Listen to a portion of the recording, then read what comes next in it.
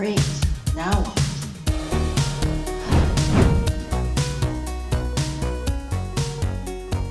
Hey guys! So today I have Rhiannon back, the awesome tarot card reader that I had on recently. And today she's going to do just like a little mini tarot card reading course and teach me some tips and hopefully you guys will learn some tips too. Also, this will give you a taste of her online course, which she will begin to teach online over Zoom. So let's welcome back Rhiannon.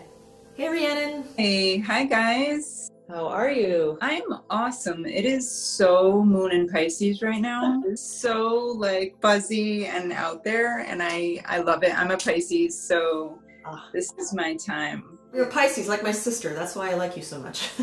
Uh, I don't know anything about astrology. I would love to study it though. It's it's really interesting. yeah, it's so in depth. Like you could learn forever.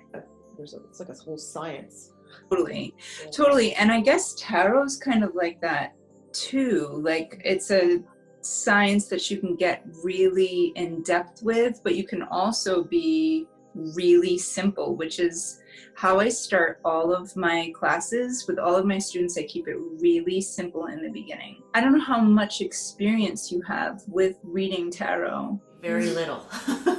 I watched a few YouTube videos. I have a book that I kind of tried to read, but it just kind of went over my head. Yeah, I just kind of like memorized all the meanings of every card, but find like my intuition would read the cards better. So I was really practicing a lot for a while and getting really good, and then I got lazy and I stopped and I kind of lost my power. So, but before we proceed, I just wanted to give you a little update from your reading. It's really, really funny. So, Rhiannon pulled two cards that she felt said that I was going to get animal or pet or maybe a dog. And like I said, we're not allowed to have dogs in this home, so I was like, I don't know how a pet's gonna come into my life. But uh, yesterday we went to the local trail and oh my god, I had no idea, but it is like infested with bunnies. okay, like with the cutest, fluffiest little bunnies, and they're just like everywhere. Like you pull into the parking lot and they're there, and then you walk towards uh, the trail and there's like this opening and they're like everywhere. So I'm gonna show you guys um, my attempt to try and pet some of these rabbits. It's pretty ridiculous. My boyfriend was filming me and I'm just like running around with like spinach leaves trying to like, get these bunnies to play with me and they're just so afraid, but I'm gonna do it. I'm gonna catch those bunnies. So I think that's what you're seeing because I'm gonna go to this freaking trail as much as I can to hang out with the bunnies. I am like so excited about these bunnies. I'm seeing you like just sitting on a tree and like all these bunnies are all over you because you have carrots and stuff and they just love you. Yes. I'm Oh my so- god, they're adorable. Do you, every time you pull a card with an animal, does it always feel like that's what's happening for the person or are there times? No, Oh. actually, only occasionally. If I notice a pattern with people, like more than one animal coming up, but a lot of times it's just something that will pop into my head for you. I don't know. It's oh, just cool. how it's a different way of relating with the cards with everyone I read for. I love that. Well, that's even more meaningful then. Horrible. I love it. So, what, sh- what are we going to do today? Okay, so I have my deck. I don't know if you brought yours or not. Yeah, give me a second. I'll go grab. This is the Kyle Gray Angel and Ancestors. Oh, okay. Oh, how Yeah. beautiful. And I like it because the girl on the cover looks like me. I was thinking that. Yeah, she really. Yeah.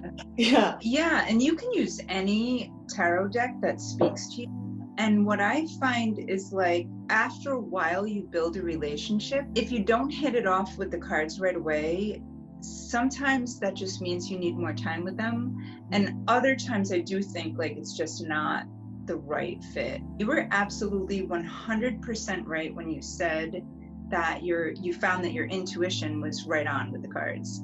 That's how I teach. With the book, if you're memorizing all of the meanings, you're building a crutch for yourself and you'll always want to go back to that. And it takes a long, long time to get away from it if that's the habit that you started with. So I like to teach people right off the bat to get away from the book. I think it's fine for occasionally referencing things if you get really stuck, but I really feel that the best way to do it is mostly intuitively and of course working with the different symbols and stuff and patterns but really the book is kind of a last resort that's how i learned i really spent a lot of times memorizing the meanings and constantly looking up different definitions and all this stuff. And then, of course, once smartphones came out, it was like so easy to just go for the definition, but it kept me trapped. And if I could go back, I would start right away with my intuition first and then kind of looking up the meanings only if I got really stuck. Well, that is awesome. Like, uh, two of my other girlfriends got the Osho deck. Every now and then we'd get together and we would take turns. Somebody would have a question. We, we always said whatever the meaning is, it, it belongs to the reader. So mm-hmm. like my interpretation will be different than, yours. So I always encourage the girls, whatever you're feeling is what the real meaning is. I know the reader has a, a big part to do with the reading, not just the cards. They're just a tool, right? They're a guide. Yeah, absolutely you can really read anything. It's why people can read palms, you can read water, you can read the patterns on a leather couch. Like it really doesn't matter what it is. It's all about how your subconscious mind interprets what's in front of you. Your subconscious mind knows everything. Mm-hmm. Everything from the minute you were born, it's been on record, it's got all this information stored up. And when you look at something and you're reading it, you're telling the story that your subconscious mind is putting in front of you. Like it's giving you all of this stuff to notice, and you're connected with the person that you're reading for. So you're just telling a story based on like what you are noticing, based on what the subconscious mind is giving you. So really, you can totally just read whatever it is that you want. We have intuition because we're reading people's faces. We're even reading like the weather just slightly changed, like the tone of everything just went down, reading the energy. So it's less about the cards and more about your sensitivity to what's in front of you. And the sensitivity really is all about getting out of your own way. The minute that you start to think should I say that? Is this right? I don't know if I should say it because I don't want to hurt this person's feelings, or I'm probably not a good enough reader to say these things. Like, that's what gets in the way is the doubt. Your job when you're sitting in front of someone, and even when you're reading for yourself, is just to let whatever comes through come through without a filter. So if you suddenly think of your uncle, like that's the thing to mention and you might not want to say well my uncle but you might want to say what reminds you of your uncle your uncle was is a recovering alcoholic you might have a recovering alcoholic in your life. Yeah, the mind knows, the higher universal mind knows, and it's just tapping into that. That's why I put in, in the last video why that I can only really do a good job reading the cards when I've had a couple glasses of wine because I just say whatever I'm seeing and feeling. I have no filter. Whereas if I hadn't had that glass of wine, I would probably be more reserved and like you said, I would question the things that were coming to me. But like you said, also, it acts as a doorway. Totally. And I have a trick for that too. It's really all about getting out of your analytical mind. And the way that I find works for me and how I teach is for people to tune in with their heart and connect heart to heart with the person in front of them or with yourself if you're reading for yourself. But really, it's all about love and wanting to be of assistance. So when I read for you, how I can get an accurate, clear reading is just by intending to help you. I just want to connect with you and be of assistance in any way that I can. And I actually will ask whatever you want to believe in, but I, I say God, be in me, speak through me, let me help Kimmy, let me be clear and specific. And then that sets the tone for the reading and moves me out of the way. Wow, yeah, that's that's awesome. That all makes so much sense. I love it. I love it. Yeah, it's important. It's important to get out of the way. We can start with the actual cards if you want. If you yep. want to just pick three cards just at random from your deck. Okay first card was the moon card. Pretty. Yeah. That's beautiful, yeah. Second card I got was the she wolf, unleash the wild within. Another moon, okay. And the last card is Shaolin Master, be graceful in movement and Oh, action. nice. Yeah. Okay.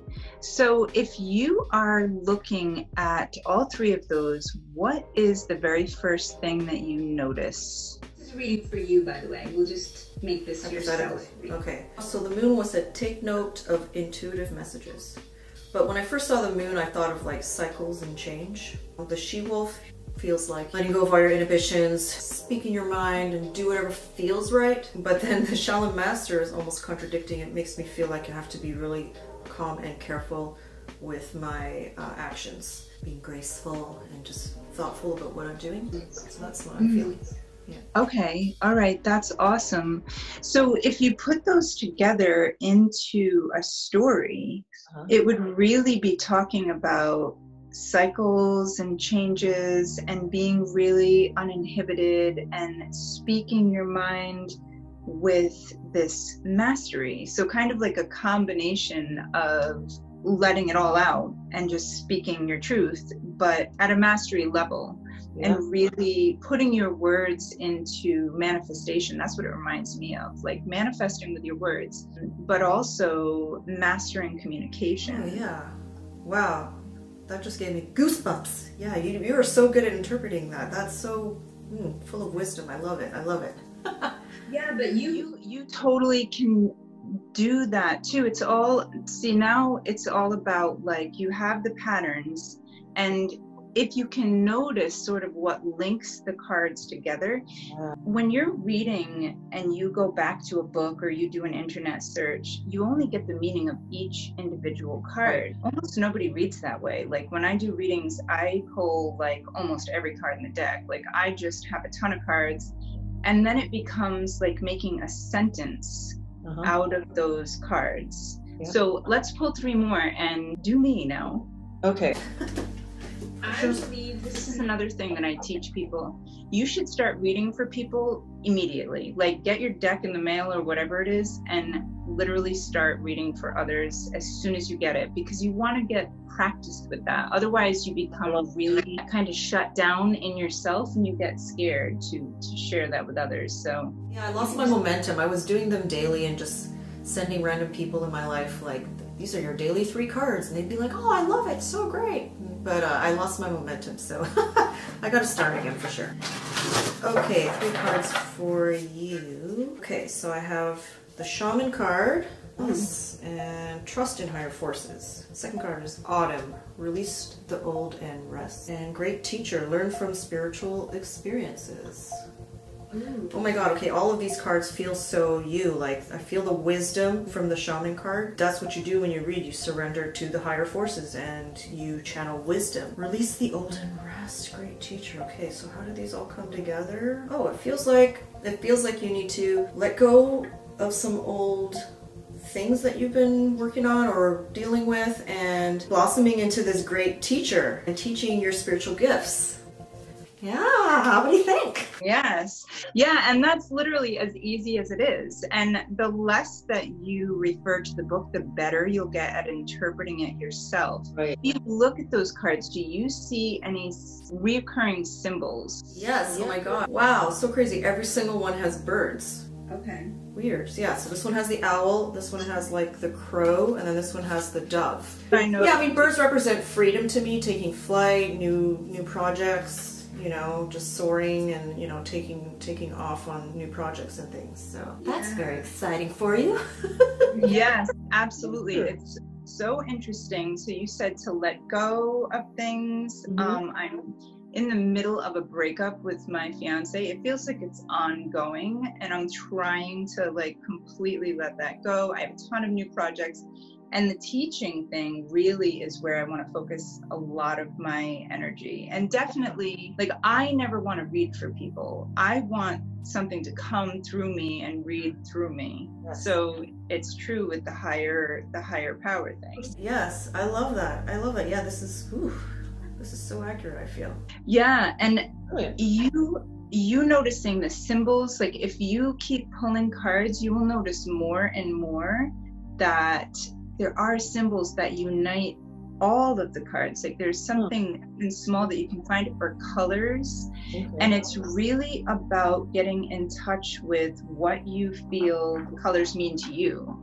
Like blue to me is calm and even psychic senses and a lot of emotional stuff, but it might mean something totally different to you. It's very individual. I've always, I guess I have more clarity now on when a card shows up upside down. It just, does it just mean like, what does that mean to you? When cards show up upside down, they mean either reversals or blocks with energy. For me, I don't think all cards that are upside down are negative. Like if I pull the devil and he's right side up, he's right side up, he represents being chained to things, obsessions, addictions. And when he's upside down, he represents letting go of those things and not being addicted and choosing to spend your time in spiritual, higher thoughts. So it's not necessarily that it's bad or negative, but it's it is about blocked energy and things not flowing the way that the cards do when they're right side up. That makes sense because, like, I just keep them all so that they turn up right set up because I just got so confused and I kept researching and googling it, but I really couldn't quite grasp it. Every time I would turn a card upside down, it'd be like, uh oh, what does this mean? Right? So I just left them. But can I just pull one and just. Yeah, I was just going Like to say, let's pull one and then let's reverse it and we'll talk about what it can mean when it's Okay, reversed. so Shield Maiden, make plans and focus. Yeah, so if that was upside down, I guess that would be like blocks that are preventing you from making plans and moving forward. yeah, and from being focused, yeah. Mainly like just you just if you just put blocks in front of it and then it makes sense. But yeah, it's not black and white like that, right? Like you said, if you get the devil card, it can mean a good thing. Yeah, and if I don't know if any of those cards are negatives, Right. Like negative meanings, but if they do, it can just mean a reversal of energies or any any card that you pull that's reversed is really just a reversal of energies and blocks. Mm. So a block to obsession and addiction would be not obsessed and not addicted. And if you have a reading where there's a lot of reversals, you would just tell the person you're really blocked right now. You've got a lot going on and your energy isn't flowing. And I'll usually like pull cards to help them. Like, how can you unblock energy? Because I don't want to just read for people and tell them what's going on. That's kind of pointless to me. I want to show them their patterns and get them into a place where they can do something about it. I want to empower them. And you can do the same thing when you're reading for you. Right. Loved how you just turned the card and then you were also telling me that you were sending me all this energy that would, you know, help to reverse blocks that I was having with that upside down card. And yeah, that's that's way more than any other tarot card reader would do. It, it makes you not just a, a tarot card reader or an intuitive, it makes you a healer. Yeah, I totally heal with with tarot cards. I believe that they totally can be healing. Um, something that you can do to manifest is actually just use the cards sort of like a vision board in a way. But I actually have a separate deck that I use for manifesting, and I'll pull out whatever cards I want to have happen in my life and I'll like light a candle next to them. I might write on an index card exactly what I want. You can carry them around in your pocket. And another really fun thing that you can do, just to talk about like manifestation with tarot, is you can pull all of the negative cards out and put them aside and turn all the good cards right side up and give yourself a reading with just the positive cards. Yeah. I do that like I'll ask a question. It's sort of cheating in a way, but it's placebo. It's the placebo effect. You're getting it into your mind that this is going to happen. I love Yeah. that. Yeah, did you uh, ever get to read Dr. Joe's placebo book? Oh my God, amazing. Yeah, I must have read it at least eight times. I'm obsessed with Dr. Joe. Yeah, totally obsessed. Read that again. I only read it once, um, but yeah, it's called "You're the Placebo," and guys, you have to read it. It is so powerful. It, it empowers you. Oh my God! You realize the science. You realize, you know, just on a physical level, that your your brain, your body can create all the pharmaceutical drugs that you need just by believing in it and feeling it. Yeah, love that book. That's incredible. Yeah, if if it makes you feel better to spread the cards in a certain way, then that is a placebo effect, right? Yeah, totally. And something that I have for my kids, this is totally off topic, but it's so much fun. And I tell everybody to do it. We use Tic Tacs. And I tell them they cannot have a Tic Tac unless they have a definite intention. And then they take the Tic Tac, and by the time the Tic Tac is dissolved, that intention has started to come true. So I use the placebo for my kids all the time. And it doesn't matter if you know about it, which is totally crazy to me. If you know it's a placebo or a sugar pill, it doesn't make any difference. You still will feel the effects. Yeah, because you believe in it and you feel it, and the cards are just a tool to kind of like as a gesture or a ritual that seals it, I guess. Yeah, absolutely. Sort of like a like a prayer with props, sort of. Yeah, like a ceremonial thing. You know, sometimes people feel like once they've done some kind of a ceremonial thing with with objects, sacred objects or whatever, they feel like okay, it is done. And I guess that's the point you want to get to, where it's done. I can release it now. Let the magic happen, right? Yeah, totally. Exactly. Yeah, I love tarot for manifestation. All right, a couple of other things that you can do to really get into reading. Really, it's all about noticing the expressions on people's faces and the little symbols. There are a lot of interpretations that can be made about the numbers, the colors, the suits, which is the elements, the um, pentacles, cups, all of that. So you can go really in depth, but when you're first starting, you really just want to like take the cards and notice things like where is his gaze? He's not looking. Like this card, death, not looking. Even this card, I'm trying to find one that is looking, not looking. Oh, she's blindfolded. So somebody who's not looking. Then you have the King of Swords, totally looking straight at you. And what would that mean? That would mean like people who are avoiding, when you're not looking at something, you're not wanting to face it. Mm-hmm. And people who are facing a situation straight on. He is a communicator, he's direct. And when you have more than one card looking away or blindfolded, you could say, oh, they don't want to see something. They're not paying attention, they're looking away, or they're not seeing something, they're ignorant to something. So, little things like that you want to pay attention to. These two cards, not really the greatest feeling cards, like they're kind of cold.